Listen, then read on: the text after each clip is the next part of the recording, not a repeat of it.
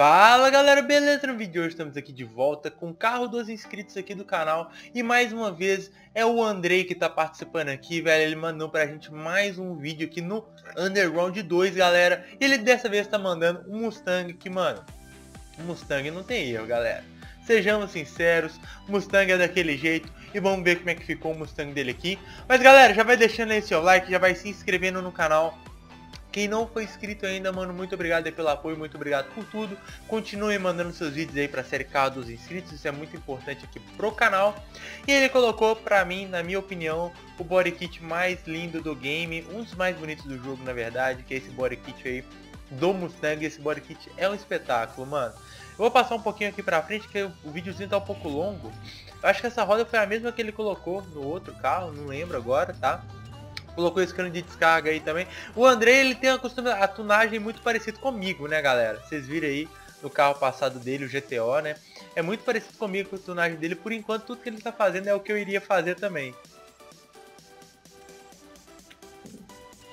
É até engraçado quando a gente vê uma tunagem dessa, tá ligado? Nossa, eu fui beber aqui uma Coca-Cola, caiu na minha camisa, tudo, mano. Mas tá beleza, né?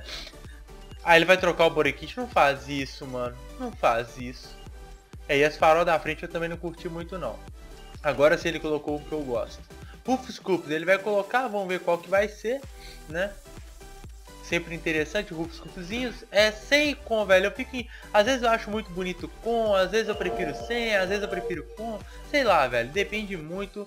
Ele vai colocar o aerofólio muito parecido com o do outro carro também ou não? Não, dessa vez ele vai colocar esse aí. É, esse aí é um dos mais bonitos também. Não tem erro. Esse aí não tem erro, galera. Quer acertar no aerofólio, é só colocar aquele aerofólio ali.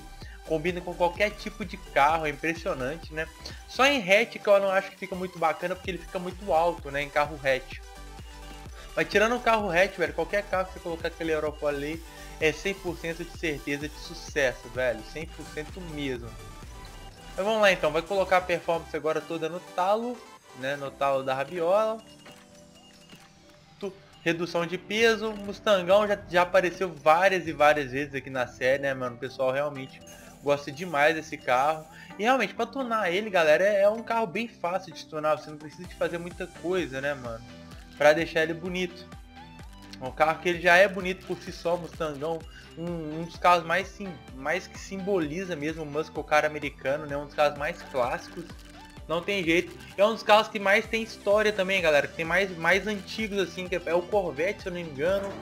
Porsche 911 também, tá? São esses carros aí que são os carros mais longínquos da história. São carros que tem aí muita, muito tempo. Vamos ver, vai colocar um vinil Modernis. Essa parte de vinil ele provavelmente vai demorar um pouco, tá? Vamos ver aqui, ó.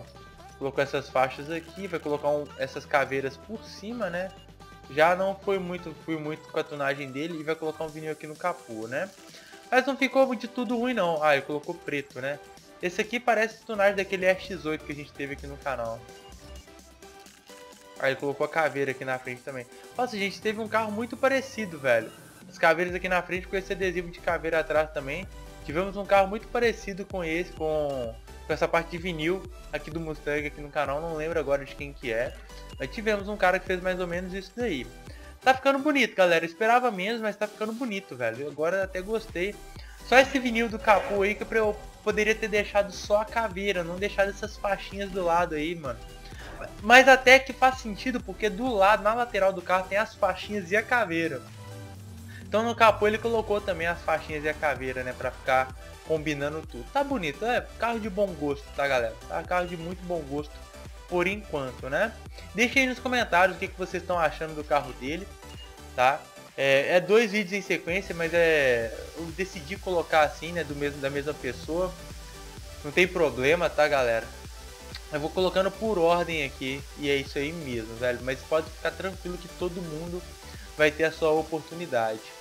Ele vai colocar aqui de que cor? Ah, eu preferi se fosse só fumaça sem cor, sem cor, né? Acho que seria um pouco mais interessante. Ele tá muito tempo aqui escolhendo fumaça, hein, velho. Beleza, porta-mala agora. Ele vai colocar um porta-mala menor? Não, vai colocar um maior, né? Acho que ele tava olhando ele falou, pô, velho, esse porta-mala aqui é maior que o outro, como assim? Como assim, né? Agora, é, ele gosta de colocar só caixa de som. No vídeo passado a gente viu isso, né? Ele é um cara aficionado por som, pelo jeito.